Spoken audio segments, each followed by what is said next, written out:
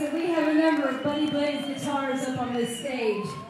Because we have a lot of respect for a very fine luthier, Mr. Buddy Blaze, who is gracious enough to allow Mr. Fisher the use of one of his guitars. Thank you kindly, Buddy. We appreciate that so very, very